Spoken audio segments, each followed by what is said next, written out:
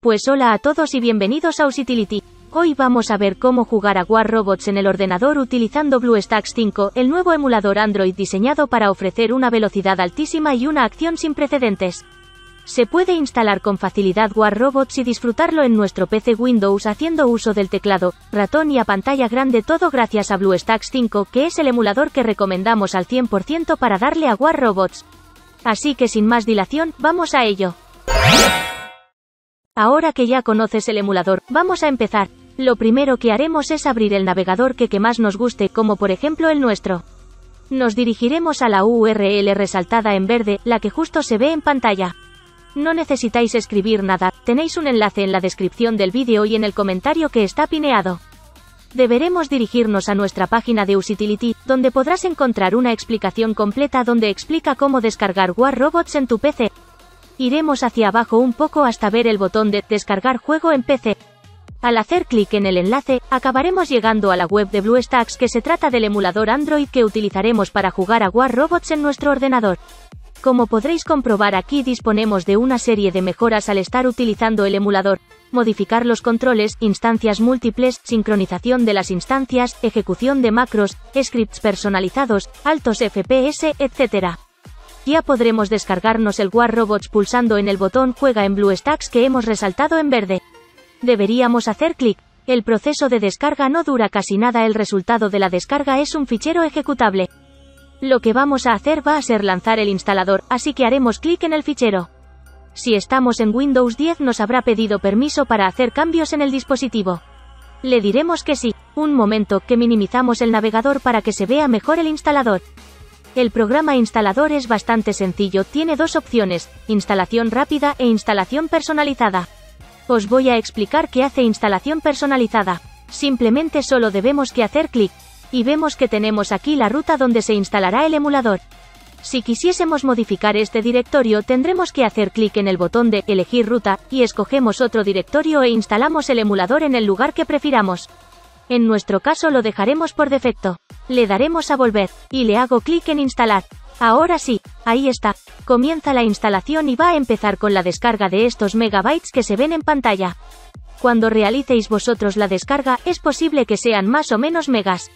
La velocidad de bajada puede ser rápida o lenta, dependiendo de vuestra conexión y dependiendo de la cantidad de descargas de los servidores. Hoy parece que van muy rápidos. Una vez acabada la descarga, se sigue con el proceso de instalación. Podrás incluso bajar el uso de RAM con un solo clic. Esto resulta especialmente útil si en alguna ocasión tienes algún problema de rendimiento. Además, puedes activar el modo eco para disfrutar de una reducción del 87% en el uso de la CPU, del 97% en el uso de la GPU y de una multitarea más básica. Como veréis, BlueStacks 5 está hecho para proporcionar estabilidad y rendimiento durante largos periodos de juego. Como veis, la instalación ya ha finalizado. Ahora, el emulador se ha lanzado él solo. Podéis ver que debajo ha aparecido una barra que se irá completando, en el momento que se termine, se abrirá el emulador. Ya estamos viendo el emulador por primera vez, aquí lo tenemos. Si nos paramos un instante, como observaréis, ha creado algunos iconos en nuestro escritorio del ordenador el que correspondería al BlueStacks y además el del BlueStacks Multi-Instance. Comentar que el icono del BlueStacks que es el que nos importa. Cuando deseemos ejecutar War Robots en nuestro PC, hay que hacer doble clic en el icono y lanzamos el emulador. El icono de BlueStacks Multi-Instance nos permite ejecutar múltiples instancias del programa. Asimismo, con el actualizado gestor de instancias de BlueStacks 5 en modo economía, los jugadores pueden lanzar más instancias de juego en menor tiempo y con menos lag. Vamos a hacer el siguiente paso que es imprescindible y que trata de acceder a la Google Play Store. Y vamos a hacer clic en Play Store. Como comprobaréis, se lanza la Google Play. En este punto deberemos que hacer login.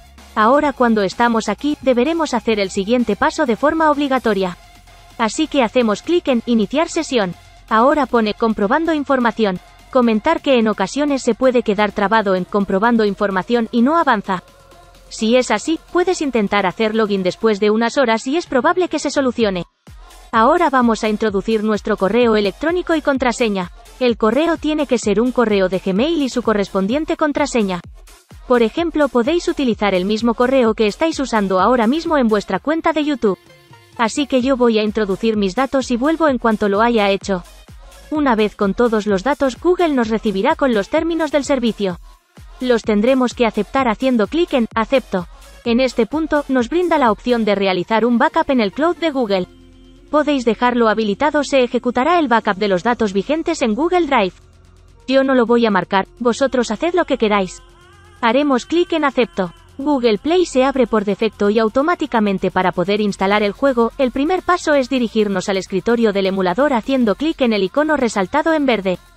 Podemos ver que en el escritorio tenemos la opción para instalar el juego, al hacer clic en el botón Instalar juego que os estoy resaltando de color verde. Si hacemos clic, se abrirá Google Play. Ya tenemos el juego aquí.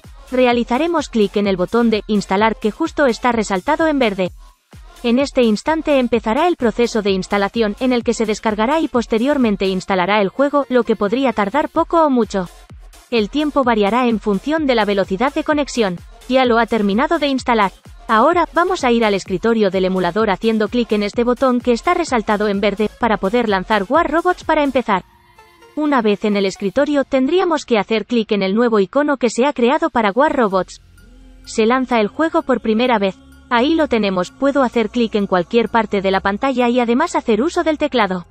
Os explico cómo va el tema del volumen. Los controles están aquí, tenemos el icono de subir volumen y el de bajar, así no dependemos del volumen general para controlar el del emulador.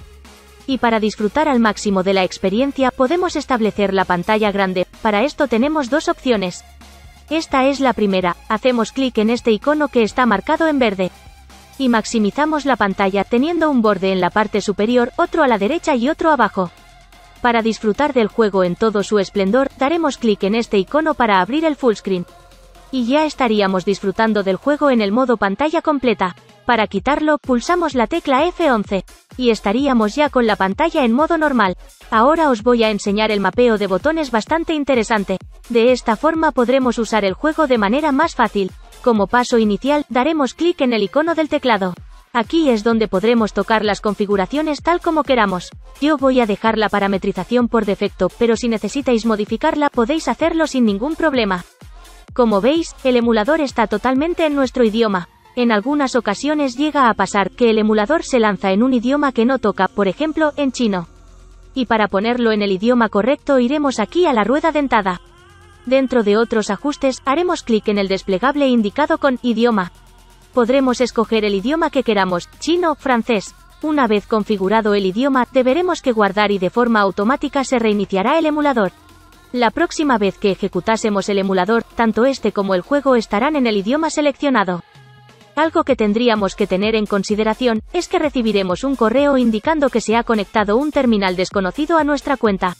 El correo nos preguntará si hemos vinculado un nuevo dispositivo. Sí, al ser nosotros no tenemos que preocuparnos, ya que el emulador está simulando un dispositivo Android. Y para ver cuál es el dispositivo que se está emulando, iremos aquí, a la rueda dentada, hacemos clic. Y nos vamos aquí a la opción de modelo. Y aquí vemos que el emulador está emulando un móvil Samsung. Por este motivo es bastante probable que nos llegue un correo indicando que se ha vinculado un dispositivo Samsung a la cuenta de Google. Así que nada gente, hasta aquí el tutorial. Deseo que os haya parecido interesante y, sobre todo que resuelva vuestras inquietudes.